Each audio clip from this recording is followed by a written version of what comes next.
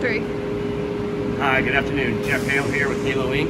Today we're going to show a quick improvement on I'm doing some laser engraving on keychains. So these particular keychains that we have are leatherette keychains from JDS Industries.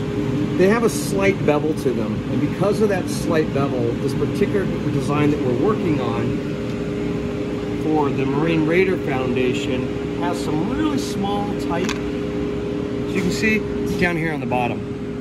And so when we were using a consistent uh, lasering setup for the entire thing, for the entire image, the foundation letters weren't coming out. They're too small. So we had to actually create two different patterns or two different um, paths for the laser. One to make the foundation a little bit darker so it would come out and then a little bit lighter on the rest of the logo so it wasn't overburnt, basically.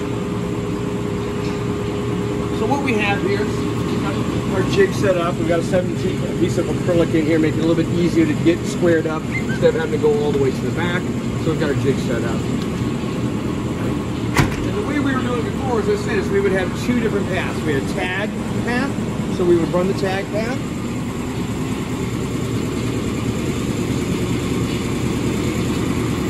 Okay, so you can see there the foundation comes out nice and crisp the way we want it to. And then we have to come back and hit our list and hit the main path and so run the second path.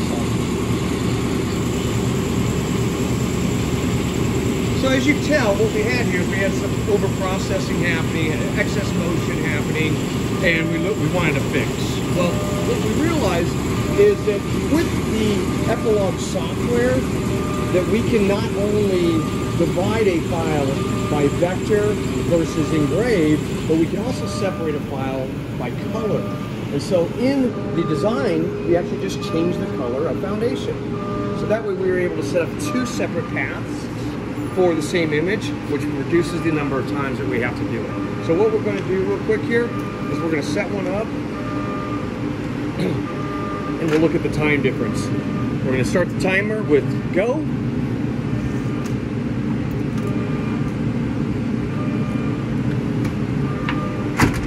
run the main path on there.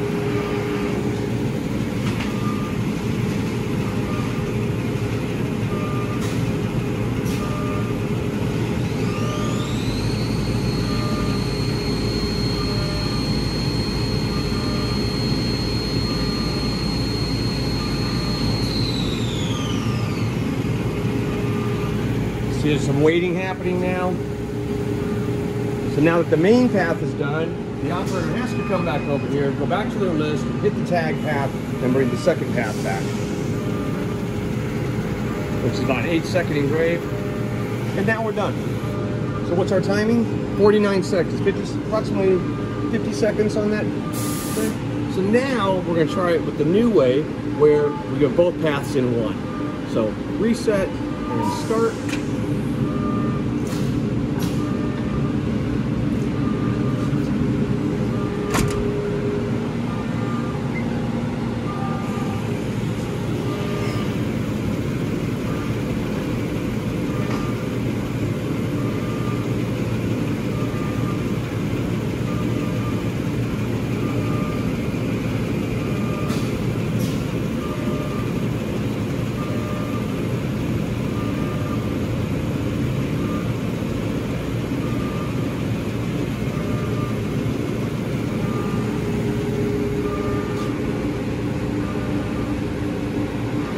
And done.